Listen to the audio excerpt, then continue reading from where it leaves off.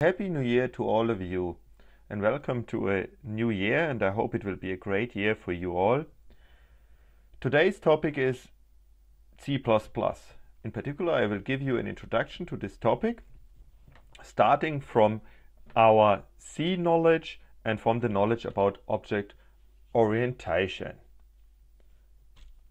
So here you find the learning objectives. Again, check them after the session.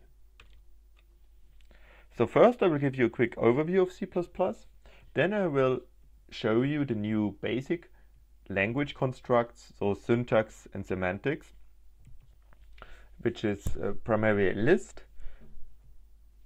And then we go into some details, particularly focused on object-oriented programming of classes. So lastly, we'll, we'll look at the first basic example of object orientation in C++. And uh, do not worry, during the course, the next few couple of weeks, we will learn all those basic constructs that I will be introducing today quickly um, in detail, such that you can fully comprehend C++ hopefully. So what is C++? C++ was developed as an extension of C by Björn Stroustrup, and he's still actively developing this language it adds many useful features and it has object-oriented capabilities built in. C++ is much more complicated than C. So if you look at a standard book for C++, you're looking at 1000 pages. When you compare it to the standard of C, it has about 200 pages. So that's huge difference and that's one of the reasons why we introduce C++ later than C.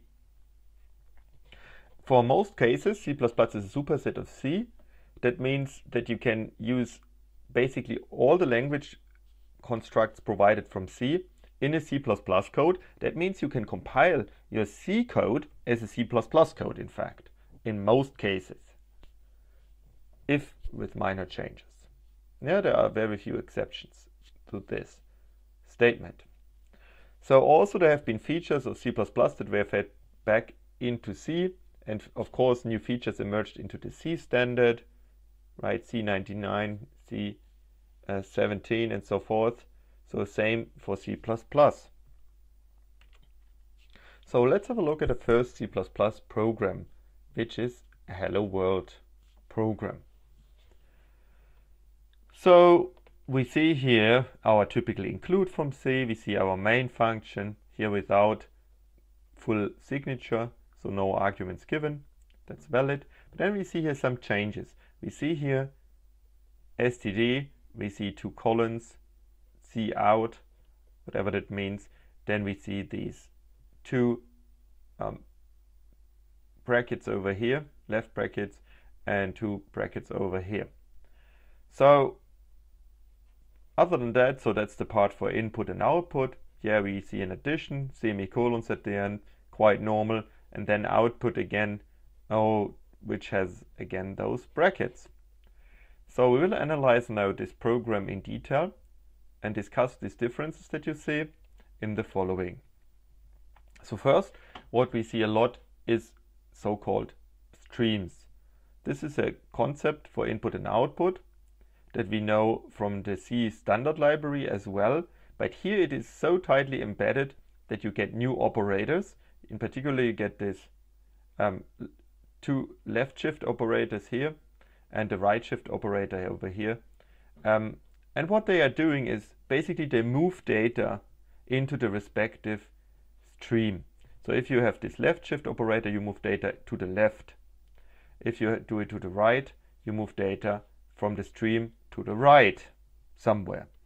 So let's have a look what it means. We have here something called cout, which stands for our standard out channel and we move in to this channel some data, particularly this data over here. Enter first integer, backslash n. So that means this text over here gets pretty much printed on the standard out channel. So this is equivalent to a printf enter first integer.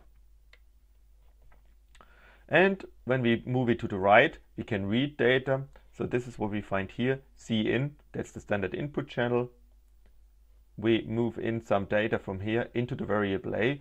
So we try to read an integer from the input channel. So we can cascade those operations.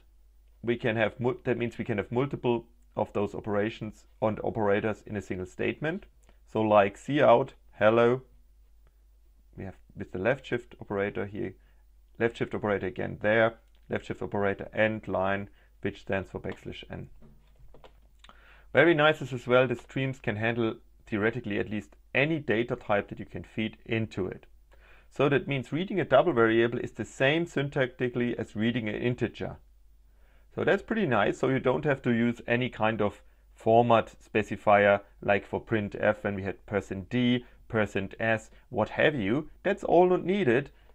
We will detect the type here when we do such an operation. Like here we figure out it's an integer and then we will call the write function. So that also means we don't need an reference operator when we read data like we needed for scanf.